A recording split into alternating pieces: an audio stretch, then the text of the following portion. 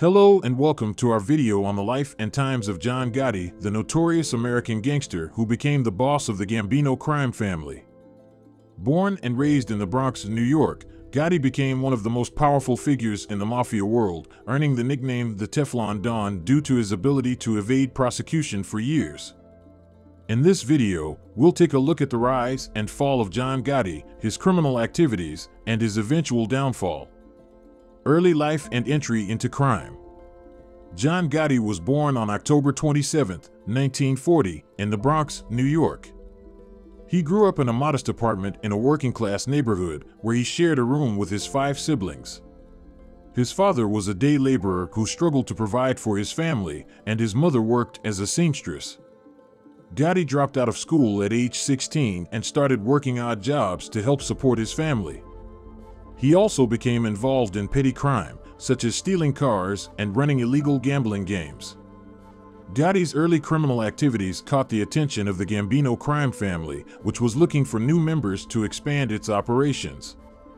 In the late 1960s, Gotti was officially inducted into the Gambino family and began working as a low-level enforcer. He quickly gained a reputation for his loyalty and ruthlessness and was promoted to the rank of capo, or captain, in the late 1970s. Gotti's rise through the ranks of the Gambino family was fueled by his willingness to use violence to achieve his goals. He was known for his sharp dressing, expensive jewelry, and flashy lifestyle, which contrasted with his working class roots. Gotti also became known for his close relationship with Gambino boss Paul Castellano, who saw Gotti as a loyal and effective enforcer.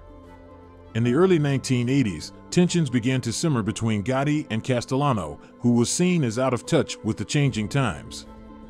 Gotti believed that Castellano was too focused on white-collar crime and was losing touch with the street-level operations that were the bread and butter of the Gambino family. Gotti began to plot against Castellano, seeking the support of other Gambino family members who were dissatisfied with Castellano's leadership. Rise to power. John Gotti's rise to power in the Gambino crime family was swift and brutal. He quickly climbed the ranks of the organization, becoming a capo in the late 1970s. Gotti was known for his charm and willingness to use violence to maintain his power. He was also known to have a close relationship with his crew members and was well respected by many in the organization. In 1985, Gotti orchestrated one of the most notorious hits in organized crime history. Gambino boss Paul Castellano was assassinated outside a New York City steakhouse, and Gotti quickly took over as the head of the family. The murder of Castellano was a brazen move that shocked the underworld and made Gotti a household name. The Gambino family, under Gotti's leadership, became one of the most powerful and feared crime organizations in the country. Reign as boss. After taking over as the boss of the Gambino family, Gotti's reputation as a ruthless and charismatic leader continued to grow. He became known for his extravagant lifestyle, including his expensive clothes, cars, and homes. Gotti was also known for his involvement in high-profile crimes.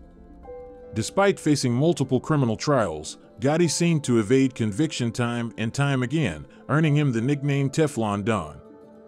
However, in 1992, Gotti's luck ran out when he was convicted on charges of racketeering, conspiracy to commit murder, extortion, and other crimes. The case against Gotti was built on the testimony of several former associates who had turned government informant. The most damaging witness was Gotti's former underboss, Salvatore Sammy the Bull Gravano, who testified against Gotti in exchange for a reduced sentence. Gotti was sentenced to life in prison without the possibility of parole, and he was sent to the United States Penitentiary in Marion, Illinois, a high-security federal prison. Gotti's health began to decline while in prison, and he was eventually diagnosed with throat cancer. In 2002, John Gotti died in prison at the age of 61. Legacy John Gotti's legacy as a notorious crime boss continues to fascinate the public even after his death. While some see him as a charismatic leader who protected his community, others view him as a ruthless and violent criminal who brought harm to many. Despite the controversy surrounding his life and career, Gotti's impact on organized crime in the United States is undeniable. After Gotti's conviction in 1992, the Gambino family underwent a period of instability and infighting. Several high-ranking members of the organization were arrested and sentenced to long prison terms, further weakening the family's structure. Despite this, the Gambino family remains one of the most powerful and influential criminal organizations in the country. In popular culture, Gotti's life and career have been the subject of numerous books, films, and TV shows. Several movies have been made about his life, including the 1996 film Gotti starring Armand Assante and the 2018 film Gotti starring John Travolta. His infamous nickname, the Teflon Don, continues to be used to describe individuals who seem to evade criminal charges and controversy. In conclusion, John Gotti's rise to power and subsequent downfall left a lasting impact on the American mafia and organized crime in the United States. While his legacy remains controversial, his story continues to be told and examined by those interested in the criminal underworld and its history.